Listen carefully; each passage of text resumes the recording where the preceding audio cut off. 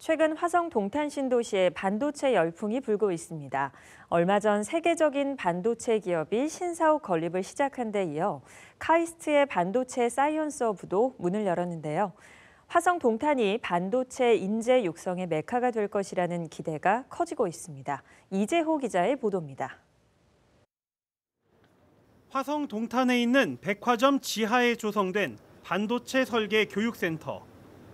우리나라 반도체 산업을 이끌어 나갈 인재를 육성하기 위해 카이스트가 운영하고 있습니다. 센터에선 비전공자들도 반도체 설계 교육을 받을 수 있습니다.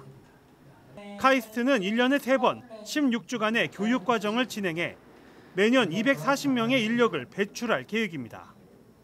지난 25일엔 반도체 설계 교육센터를 포함한 카이스트 반도체 사이언스 허브가 정식으로 개관했습니다. 창업 지원 오피스와 강연 라운지 등을 갖춘 카이스트 반도체 사이언스 허브에선 반도체 설계 교육뿐 아니라 취업과 창업 지원, 시민들을 위한 과학 강연 등이 진행됩니다.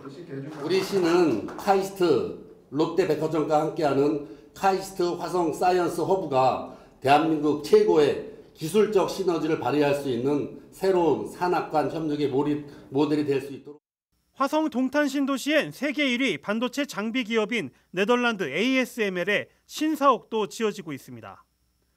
동탄 이 신도시 도시 지원 시설 용지 16,000제곱미터에 들어설 신사옥은 오는 2024년 12월 준공을 목표로 하고 있습니다. ASML은 동탄 신사옥에 연구 생산 시설과 함께 교육센터를 설치해 청소년들을 대상으로 반도체 교육을 진행할 계획입니다.